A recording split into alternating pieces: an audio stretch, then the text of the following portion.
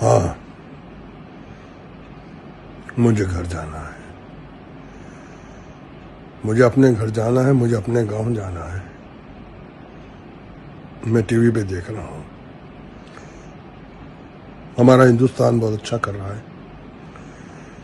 Corona से बहुत अच्छे से लड़ रहा है। लेकिन सबको अपने घर जाना है।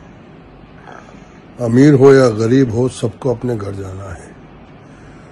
कोई अमेरिका में फंसा है, कोई दुबई में फंसा है। अमीर है, दो वक्त की रोटी मिल रही है, रहने का ठिकाना है, लेकिन फिर भी घर जाना है। मेरा दिल हिलता है, हिल जाता है कि हम किस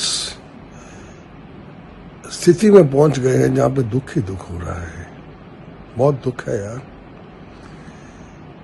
ये मजदूरों का दुख कौन झेलेगा? जो अपने बच्चे लेके अपने गाँव जा रहे हैं, पैदल ही। हम लोग डोनेट कर रहे हैं। Prime minister relief fund fund में दे रहे हैं। अपनी तरफ़ से खाना दे रहे हैं लोगों को। लेकिन इनका कौन ध्यान दे रहा है?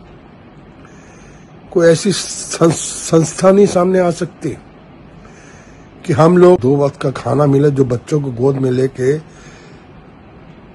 सौ, दो सौ, पाँच सौ, सात सौ किलोमीटर पैदल चल रहे हैं। साइकिलों पे जा रहे हैं। खाना नहीं मिल रहा है। सड़कों पे मर रहे हैं।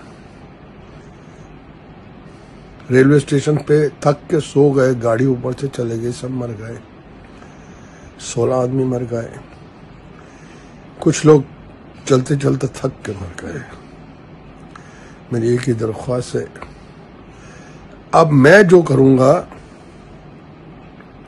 सिर्फ़ मजदूरों के लिए करूँगा। और सरकार से कहूँगा कि इनका पैदल जाना बंद करो, इनको खाना दो, इनको रहने की जगह दो, इनको घर पहुंचाओ। ये लोग अभी कोरोना समझते हैं। अभी वो ध्यान भी दे रहे हैं। उनको और हम लोग समझाएँगे, लेकिन उनको खाना दो, जगह दो रहने की, उनको घर पहुंचाओ। मुझे घर जाना है, मुझे घर जाना है, मुझे घर जाना है। कोई ऐसी संस्था पता हो जहाँ हम लोग हिंदुस्तान के तमाम वो लोग इनकी मदद कर सकें और हम वहाँ अपना पैसा पहुँचाएँ। मुझे घर जाना है, मुझे घर जाना है, सबको घर जाना है।